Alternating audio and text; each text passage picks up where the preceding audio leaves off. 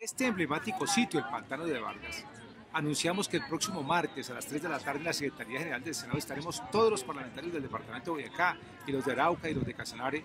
firmando y radicando el proyecto de ley de Bicentenario que honra y obliga a la nación con Boyacá y con los 40 municipios que fueron parte de la Ruta Libertadora. Es la forma en que el país cumple la deuda histórica con el Departamento de Boyacá y en que nosotros también, por supuesto, cumplimos nuestro deber de buscar el mejoramiento de las condiciones de vida de todos los boyacenses en lo económico y en lo social.